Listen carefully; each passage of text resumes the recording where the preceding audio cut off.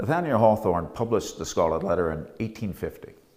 Before getting to the narrative proper, he presented readers with a 50 page preface in which Hawthorne recounted the circumstances surrounding his own public humiliation.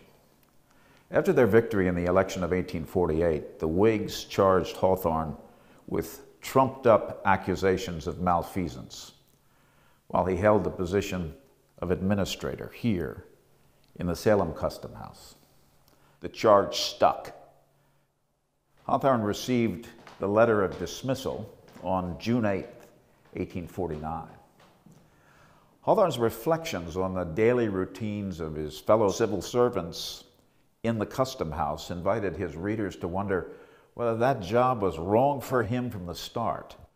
Rather than engaging with Hawthorne or with their surroundings, his co-workers followed the example of the elderly inspector who appeared lacking in every human faculty except the appetite required to take up the task of consuming his next meal.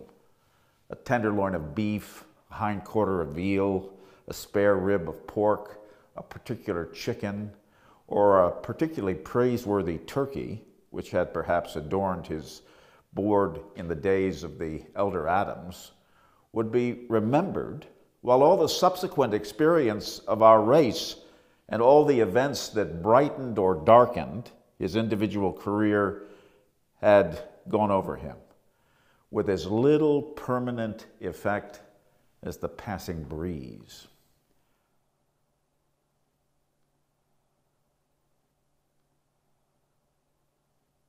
Hawthorne shared the day to day stupefaction of his colleagues until the day he imagined himself visited by apparitions of steeple hatted Puritans.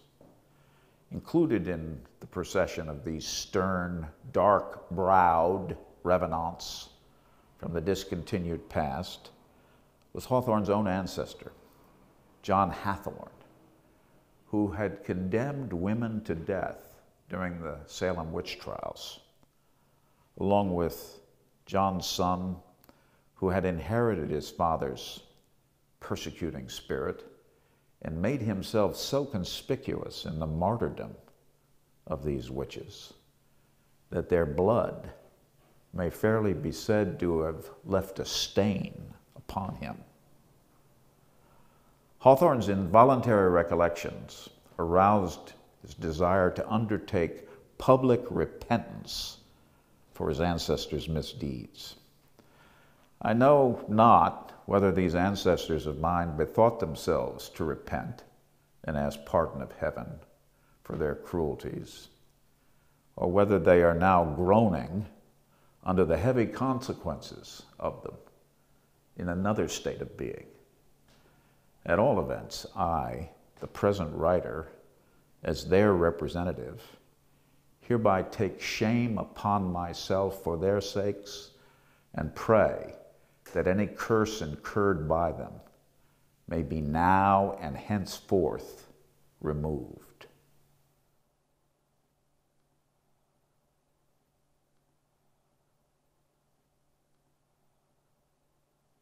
Hawthorne would soon discover the instrument with which to realize his aim of public penitence.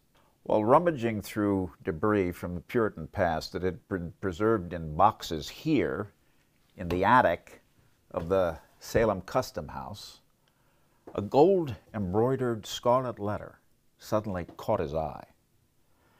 From the moment he fixed his gaze upon it, Hawthorne felt weirdly responsive to this artifact from Puritan times that seemed the outward expression of a sensation coming from the innermost precincts of his own psyche. I happened to place it on my breast. It seemed to me, the reader may smile, but must not doubt my word. It seemed to me then that I experienced a sensation not altogether physical, yet almost so, as of burning heat, and as if the letter were not of red cloth, but red hot iron. I shuddered and involuntarily let it fall upon the floor. In the scene that followed this discovery, Hawthorne fantasized a ceremony of symbolic investiture conducted by the ghostly apparition of his antecedent in office, surveyor Jonathan Pue, who had written the account of the Scarlet Letter. Hawthorne had found in the parchment that accompanied it here. Hawthorne recovered his vocation as a storyteller through his need to retell the story of the Scarlet Letter that had come to him from a discontinued Puritan past. When he narrated the Scarlet Letter, Hawthorne attempted to remove from the letter of Puritan law its accursed power to make such dreadful pronouncements, even as he wrote with an imaginative force that evoked another social order into existence.